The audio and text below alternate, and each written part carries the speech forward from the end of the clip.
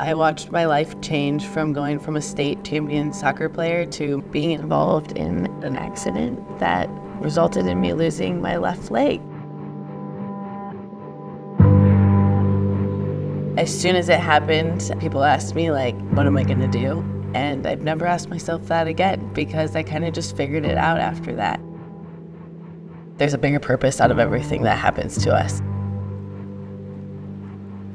People avoid hardship in a lot of ways, but going through hard things shows you that you're able to get through those. That's how people grow and build. My name is Lexi Kupler, and I run an adaptive wake surfing program called Brave the Wave.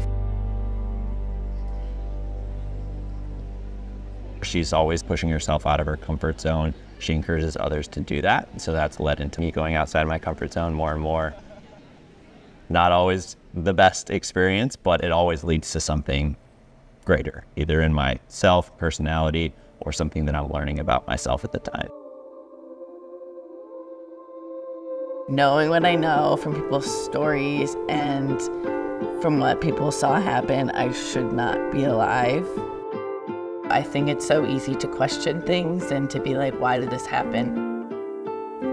But as soon as we let ourselves go to that, you can't find reasons, but you can find purpose out of what you've gone through. And I think that's where my faith comes into play is trusting without knowing the reason something happened.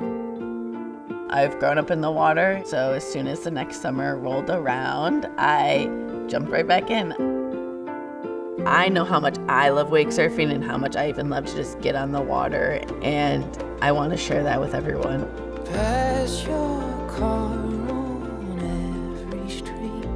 It's not about wake surfing at the end of the day because there are so many little things that have changed people's life just in the steps of getting in the water from maybe never jumping off the back of the boat into the water before or little steps along the way that as boaters we don't think about but as to other people coming out doing this for the first time, it's changing their lives. It's something they never thought they would do.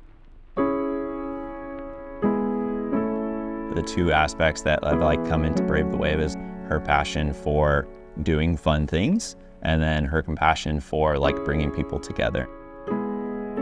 But a cool opportunity that she's intentionally done with the program is putting everybody on the boat at the same time. So you get to talk to your neighbor, your friend who maybe have something similar going on in life, maybe not, but at the same time, like still growing that community and helping you come out of this with a new friendship. Lexi just makes you want to be a better person. Um, and everything she does for people, you want to just help her and you want to just become more like her. It's been a blessing. It's been a miracle, I think, to just have the right people find you along your way.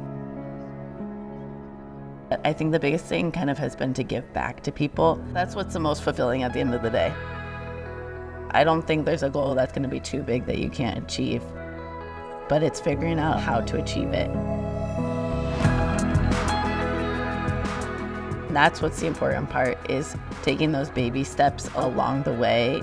You have to always give yourself grace because there's going to be hard days that you wish that this wasn't your life or maybe this wasn't what you were going through but also there's such good days in that. And so grace has been my biggest thing. You have to remember to do that for yourself no matter what happens.